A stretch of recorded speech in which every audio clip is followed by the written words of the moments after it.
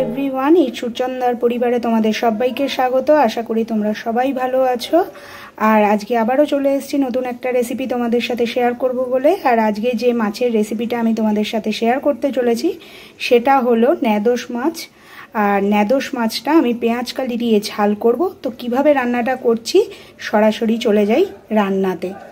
তো দেখতে দোষ মাছের পেঁয়াজকালি দিয়ে ঝাল বানানোর জন্য মাছ তো লাগছেই। এখানে নুন হলুদ দিয়ে শুধু আমি মাছটাকে ম্যারিনেট করে রেখে দিয়েছি। আর রয়েছে পেঁয়াজ। এখানে একটা বড় মাপের পেঁয়াজ নিয়েছি। কাঁচা লঙ্কা লম্বা লম্বা করে চিড়ে রেখে দিয়েছি। একটা টমেটো আছে আর আছে পেঁয়াজ কলি। এবার তাহলে রান্নাটা পুরো শুরু করা যাক। কড়াইতে তেল আমি গরম হতে দিয়ে দিয়েছি, আর তেলটা গরম হয়ে গেছে, আমি এখানে সর্ষের তেল ব্যবহার করছি, এবার আমি একে একে মাছগুলো ভেজে নেব।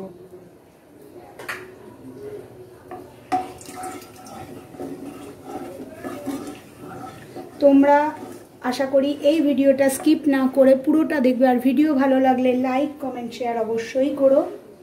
আর যারা আমার পরিবারে নতুন আছো আর এখনও আমার পরিবারের সদস্য হওনি, তারা অবশ্যই আমার চ্যানেলটাকে সাবস্ক্রাইব করে বেল বাটন প্রেস করে অল নোটিফিকেশান অন করতে একদম ভুলে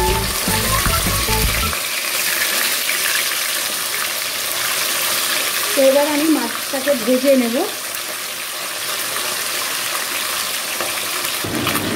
মাছগুলোর পিট হয়ে গেছে, আমি উল্টে দিয়েছি। খুব কড়া করে এই মাছগুলো ভাজা করব না।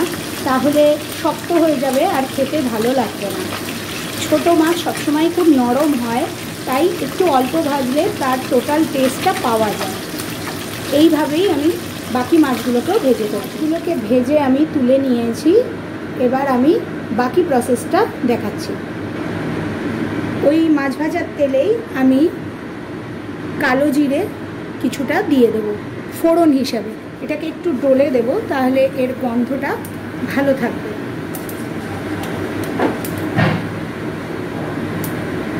এবার আমি তেলে কেটে রাখা পেঁয়াজটা দিয়ে দিচ্ছি।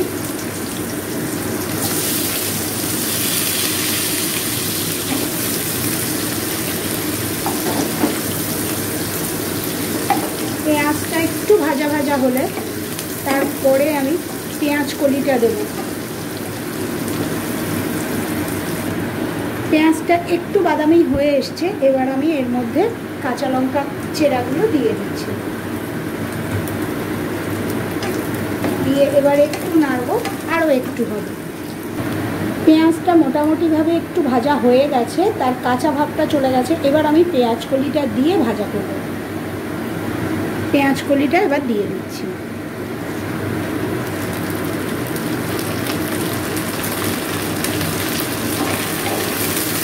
এবার আমি এগুলোকে একটু ভাজা ভাজা করে নেব। তারপরে নুন, হলুদ, তারপরে টমেটোটা অ্যাড করব। টমেটোটা এখনই দিলে পেঁয়াজ কলিটা ভাজা ভাজাও হবে না। আর যেহেতু টমেটো একটু টক টক টাইপের হয়, যার জন্য সেদ্ধ হতেও একটু সময় লাগবে। তাই টমেটোটা অনেক পরেই অ্যাড করব। পেঁয়াজ কলিটা মোটামুটি ভাজা হয়েছে। এবার আমি নুন, হলুদ, গুঁড়ো লঙ্কা এগুলো অ্যাড করছি। দিয়ে দিচ্ছি পরিমাণ মতো নুন, হলুদ,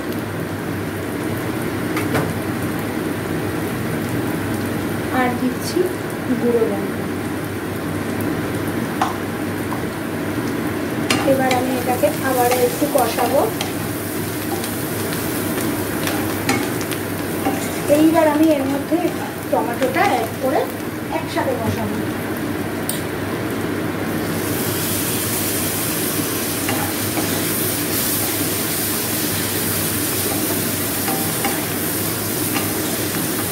ভালো করে কষানো হয়ে গেলে তারপরে আমি এর মধ্যে জল দেবো।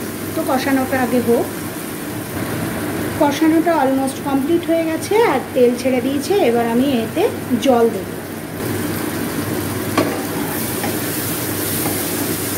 এইবার আমি গরম জল অ্যাড করছি। ঠান্ডা জল দেব না। ঠান্ডা জল দিলে রান্নার প্রসেসটা অনেকটা বড় হয়ে যায়।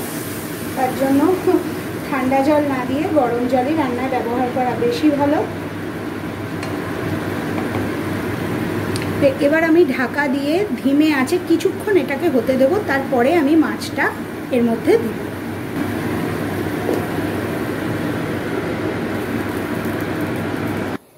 দেখে নিই কত দূর জলটা টেনে এলো। বেশ অনেকটাই ফুটে এসছে। এইবার আমি ভাজা মাছগুলোকে এর মধ্যে দিয়ে দেবো।